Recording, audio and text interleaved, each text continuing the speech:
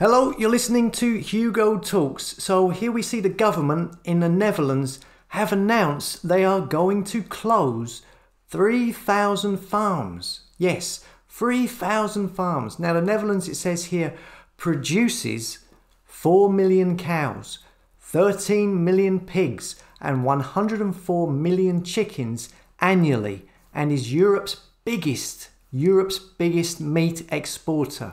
Yeah? These control freaks have been talking about wanting to stop people eating meat, abstain from eating meat, and here they are closing 3,000 farms in the Netherlands, Europe's biggest meat exporter. It says here the Dutch government is planning to buy and close down up to 3,000 farms near environmentally sensitive areas to be in compliance with EU environmental rules, it says. Ah, the CC33, that old chestnut, apparently it says here in compliance with the EU rules, but actually, from what I was told, this is the Netherlands government actually going one step further than the EU rules, or much stricter than the actual EU rules. Correct me if I'm wrong here. It continues the government will conduct a compulsory purchase of the farms. Farmers will be offered a deal well over the value of the farm according to the government plan. The government asserted there is no better offer coming in a Friday meeting with MPs. Apparently, it said that the offer will be 120% of the value of the farm and it will be offered to certain farms. And as it says here, it will be compulsory. I mean, what right do they have to take away someone's livelihood? You know, someone's life, basically. Many of these farmers have been doing this for all of their lives, maybe generations of them. And the government just want to come in and just snuff it out, just like that. Now, it says here it's for the environment, yeah? But I wonder, is it more to do with their plans to build a tri state city, which is this here?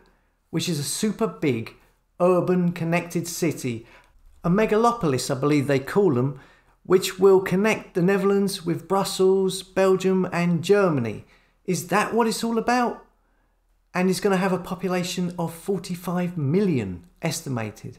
I wonder if the farms that they want to compulsory purchase will be the ones with the land that is in the way of the building of this tri state city.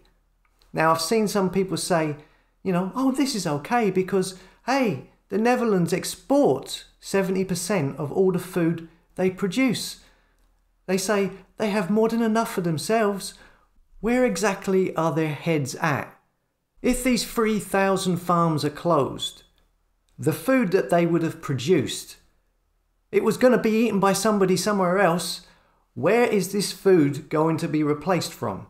I see someone online saying, oh, well, another country will gain from this. Well, how? Because as far as I can see, they are doing a similar thing in other countries UK, Ireland, Canada, Brazil. They're cutting back, bringing in restrictions on farmers and farming. And this is happening all over the place.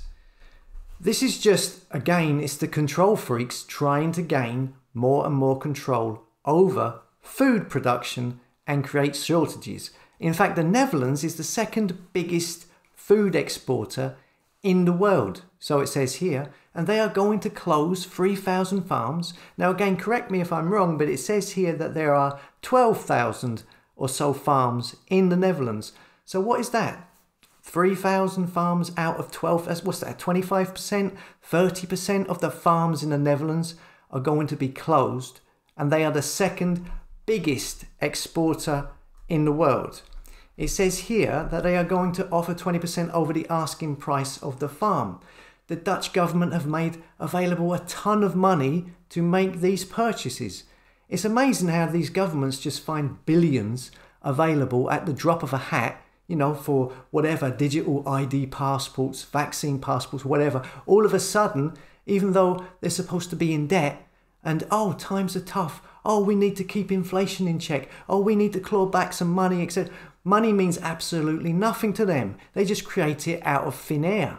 And of course, this ties in with so many of the UN Sustainable Development Goals, getting people to stop eating meat, connecting cities and countries together, networking everything, everybody, having more centralized control over food production, and therefore those who control the food can control the people. It's looking a bit like communism, isn't it?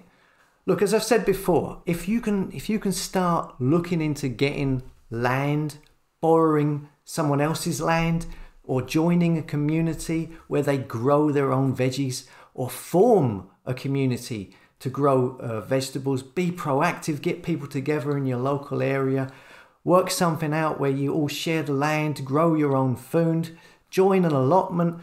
I know it's, it's not always easy to find, but that's the way to go to get some control over what's going to happen in the future.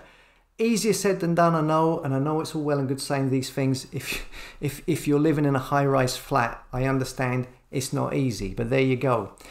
So that's an update. Uh, let us know if you're connected to any farmers in the Netherlands, what's happening there, or whatever country you are in.